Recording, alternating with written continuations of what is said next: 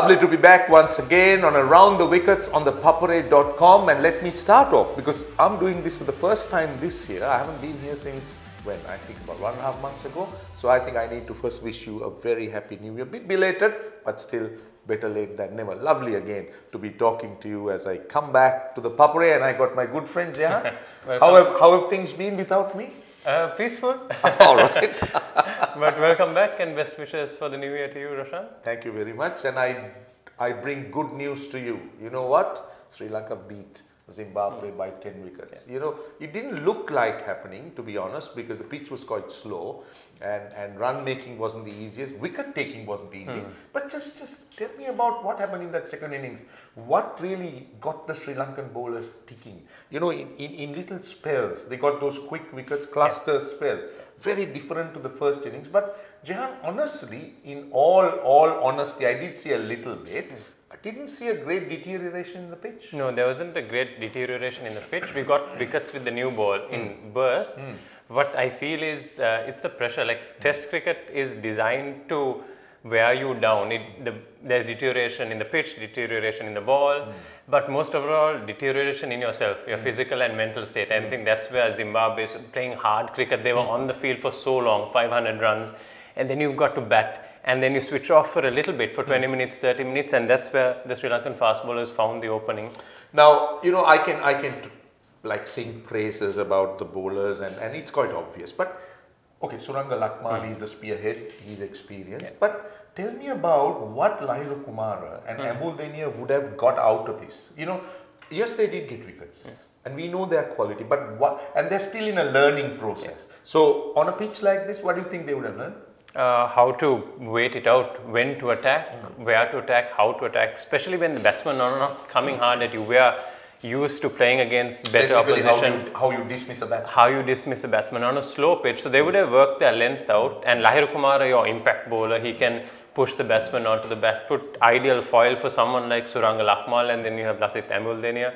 And also maybe using the rough, whatever little rough there is. Uh, that's a lot they would have got out of this game. Right, I think we got a few things to talk about, some real positives, and particularly about Angelo Mathews. Now, I'll take you through some of the stats. For example, he's this is the first double century in five years. The last time it happened in 2015 when Kumar Sangakkara made 203 at Wellington. Eighth longest innings, I think that's timely because the Sri Lankan batsman has struggled to bat long. 468 balls. Mathews' fitness, you think dropping him from the T20 game has made him work harder? Showing because it's not easy to bat that long. And generally, it, it augurs very well in terms of Angelo Mathews and his batting and also about young Embuldeniya. I mean, I'm going to dwell too much about Lakmal. Lakmal is pro and quality, you know, but young Embuldeniya, I mean, he is, you know, impressing Yeah. as uh, he progresses, even in Pakistan. Yes. You know, and even here, they're playing him ahead of Dilruwan Perera. Yes. So, do you think he has the makings of becoming or stepping into those large shoes of Rangana Herath? Yes, they should have played him in the first test in Pakistan as well. Uh, he has the makings, but he's still young, so he's got time to learn, and he is learning. Uh, and playing in these conditions, playing in Pakistan, playing in Zimbabwe, he will learn a lot. And those are big shoes to fill, but I think uh, Amul has what it takes, and we have to persist it in the same way that we are persisting with other players in the team, Such like as? Kusal Mendis, we are persisting with him. He has the talent, he has the potential, and he's been given a lot of rope, a lot more than any other player. And I hope that we give Embuldeniya this at least half of that leeway that we give some of the other players. Now, we've, we've got a very effective uh, tourist with the Sri Lankan team, someone who tours and tours and tours, but doesn't really get any luck chance on the can. What do you think uh, we're going to do with him in the next test? I think we should play him in the next For test. whom? Uh, the fast bowler, test part for uh, Kasun Rajitha. You think? So two fast bowlers, two spinners. spinners, Just for exposure, or you think the pitch will demand anyway? RRA. Yeah, both. I think the pitch will also, uh, because we've played, so for five days, the other pitchers wouldn't have had much preparation. I have heard that this is the cold climate in Zim, and and it, it, it's rain about. So Well, if there is overcast conditions and there is swing, perhaps, but we are talking about five days later. And if the game is, if the wicket is going to be anything like this, I'd have another one more wicket taking option. Others, we are going to put all that uh, responsibility on Embuldeniya. so what next for Dilruwan if he doesn't, you know, find a place in the next uh, test match with you're talking about playing Lakshan, Sandakan Yeah. and Buldenia. So should Sri Lanka persist with him or, or, or look at a youngster? Well, that's what the selectors wanted as well. They wanted to have a look at the younger fast, the younger spinners rather before the England series. Hmm. And yes, that's also why you need to play Sandakan. You're not going to have a look at him carrying drinks. So if he plays the second test match, you can see whether he's up to it, whether he can play international test cricket, and whether if we need to play two spinners in Galle uh, come the England series, whether it's going to be Amul and uh, Sandakan or Ambul and Dilruwan. I still feel Dilruwan is in with a shout uh, when we come back to Sri Lanka and play test cricket here. Right, before we talk of Test cricket, we're going to have some white ball cricket. The West Indies are here. They're going to play what? Two, three ODIs? SSC Hambantota. Fancy going hum- to Hambantota. You like going there? Uh, now the highway is opened up, so No maybe a sh- uh, Yeah, shorter yeah, drive. I know. Yeah. I mean, I don't think we should neglect that ground because you've invested a lot of money. But all I'm saying is you need to ensure that your cricket is spread across all all venues. And just hope that people do come and watch it. Yeah, that's true. And then we got two T20s in Pallekele that happens on the 4th and 6th of March when the tour ends. Now, how do you see Sri Lanka uh, taking on the West Indies at home? Do you think Sri Lanka is ready? White ball cricket hasn't been their actual strength. T20 hasn't been the greatest, you know, format uh, or, or the most sort, sorted after format. So, how do you see this? After the Indian series, it's good to f- see where we are. Uh, West Indies are on their way up. They're doing well in uh, white ball cricket. But India lose to Ireland or Afghanistan just recently. They lost to Ireland. Yeah. Uh, one game. Yeah. Yeah. But in general, they are they they have good quality players coming in, and I feel that their one day cricket is on the way up, uh, and it's good for our. It's more just to find the balance of the team. We've been playing around with our combinations, batting lineups, everything. We've been we've not settled on anything yet. So I hope that at least for this series we'll settle on one uh, combination, one batting lineup, and stick with it for the entire series. Now, talking about settling down, you know what I thought? I thought that the under 19 team was settled because you know they, they, they went through a lot of processes, they, they were together, the coach, the manager, and the rest of the guys, you know, Yeah. expressed a lot of confidence, but lost to India rather badly in the first game 90 runs. New Zealand, it could have been anyone's game. But the thing is, Sri Lanka failed again to get into the last eight. So, how kind of disappointing is it, Jehan, for you? Because I know you're Yeah. involved with at, cricket at that level, you're coaching Royal. So, you should know some of these guys. So, how, how do you see this? I was very disappointed. I had high hopes uh, for this team, and as you correctly said, Roshan, they had gone done every all the groundwork was laid. They had done everything correctly up until the World Cup. Uh, they left out Ahan Wickramasinghe uh, for the first game against India. Brought him in. He batted at number eight. Why? In a Why? I have no idea. Honestly, uh, the, some of the decisions I would love to be given a reason, and I'd say, okay, that makes Now sense. you know, you know, uh, you know. Sorry, Jehan, I don't want to interrupt, but there is this school of thought. There is, there, you know, the grapevine tells me, and a few people have also spoken to me, and they have not been. I know it's not fair. It's easy to criticize someone, but they have not been very complimentary about the selector on tour. okay. You know, no, Yeah. you know, you know, the argument is this. I mean, I have so much of regard for Vinod John. He's been one of the finest selectors when, when he, you know, during his tenures.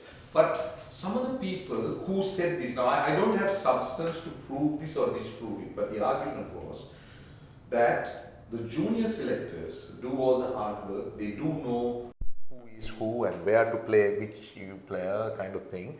And when it comes to an event like this, they are not given the option of traveling with the team to really identify and understand the combinations that should have been. Now, this is one side of the story, you know. I, I'm not here to be, be a judge or make a judgment, but I just want to throw this thought at you. Can that also be a contributing factor? Maybe, but I think Vinothen John has travelled with the under 19 team. He went to the West Indies, if I'm not mistaken. He also did, went to he did, Bangladesh. he did. He went so to Bangladesh he should know the players.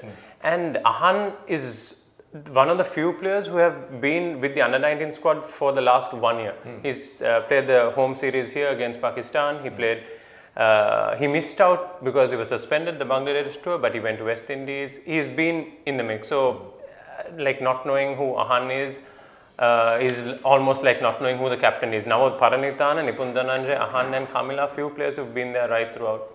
Uh, and that to me is a big, uh, big call to leave him out in the first game, and then when you do bring him in, you bet him at number 8 uh, and that's I, where I think we lost the the balance of the team, and the hmm. team itself was thrown into a bit of. Then the players themselves start wondering, okay, are we playing our best eleven? Hmm. Are we playing our best combination? Is this the best batting order? It throws a bit of doubt into all the good the work that was done. Correct. But now our next opponents are very interesting. Japan. I mean, I, I was wondering when I read it, are we playing rugby or school cricket? I mean, Japan, rugby at under 19 level, yeah, I can accept that. But I've never known Japan to play cricket. Did you know this before? No, not until Is, this is, World Cup. is, is this a pure Japanese team or is it a team made up of uh, like uh, other races, you know, expats who live in Japan? Probably expats and a combination, bit of both, but in the same way Japan entered rugby and where they are now hosting a World Cup, beating uh, Australia, beating uh, South Africa. Uh, so cricket, that's where everyone starts. So it's good that they've managed to qualify to play under 19 World Cup, and they're playing against uh, some of the best teams. Imagine if China gets in. When China starts making waves, I think India will have a serious, serious challenge in terms of the commercial arm. You know that, that China could bring in with the numbers they have and the money they have. Anyway, the, the, the, the, the nightmare will be for the commentators to pronounce those names. And I can tell you that I had a glorious experience, a funny experience once. You know, very quickly, we were doing the Hong Kong Sixers, and in the in in the break, a Chinese team was up against a uh, Hong Kong team. And I'll tell you, I, I didn't want to be a commentator of that because those names, it's the pronunciation. Because you would start with a Q or an X or an Z, and you would end up saying, with all due respect, I mean, it's not right for us to laugh at a name, but it's the way they pronounce it. You would end up with a completely different sounding name. So that is a challenge, just like a The- West Indian yeah, who, the who, who, who I don't want to mention, whose name I don't want to mention, but would have been a disaster in Sri Lanka in case he had he had toured and we started mentioning his name the way it's written. Anyway. Now let's get into the SLC T20 tournament. Chilaw Marian, CCC, what a turnaround and- or, or what a final it happened to be. CCC winning in the last over. But you know what I like to draw your attention to? Malinda Pushpakumara, he's got 18 wickets. And we've got Shehan Jayasuriya who's got 385 runs and Shehan Jayasuriya also bowled reasonably well. I mean, do you think that these two cricketers still have a space or place or, or, or a future with uh, Sri Lanka cricket? Malinda Pushpakumara across all formats. Shehan Jayasuriya better known for his uh, white ball cricket. What, are, what is your sincere, honest opinion? My honest opinion is it's difficult to judge on uh, domestic to international, and which is No, but you have seen them. Uh, Malinda Pushpakumara, red ball cricket. Yes, there is a possibility that he can Where? come and So play now- if, in case Embuldeniya gets injured as a backup uh, but left arm Jehan, spinner. he- I mean, sorry, Jehan, but isn't that a, isn't that a very sad situation? Yeah. Embuldeniya may be 20, 22. 22. Mali, how old is Malinda? He would have played 22 years of cricket Yeah. or close to that. So if he's still playing second fiddle to a 22 year old, does that sound good? No, it doesn't. But I, I mean, we had to remember Rangana Herath played second, second fiddle to Murali, Murali. for 10, 12 Yeah, but years. Murali wasn't half his age. No, no, correct, correct. but it's we. Ha- I mean, it's a, it's otherwise we might have no option at all. We don't have any other left arm spinner who can come in there. Very sad. Um, very sad. and also it's what about like- Shehan? Shehan also. Shehan can play the short form. I think he uh, he has a much better chance of playing the shorter format than Hmm. The Malin T20. than the T20 uh, format. But again, it's like we have our top performers in domestic cricket. Hmm. Uh, that is not a benchmark or basis for national selection, and selectors don't see it as such. The national captain doesn't see it as such. Sri Lanka cricket doesn't use the So why domestic play, why play a domestic tournament? Why are we wasting all this money? for uh, our viewers to watch, for us to uh, talk about it on the For Papare to make some for money? Papare to make some not well to make some video clips. That's how they make money. what? Why- Why are you guarded? You, you don't want to. You don't want to accept the obvious.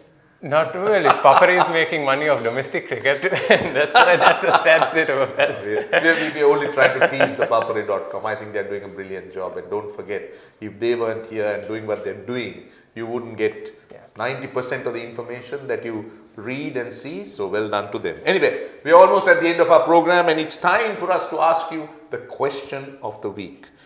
Right. What was the last time or when was the last time Angelo Mathews scored a century before in Test cricket. When was the last time Angelo Mathews got a 100 in Test cricket? Now, don't forget, he's just got a double 100. After five years, the first Sri Lankan to do that. So, we are asking you the question when did he last score a Test century?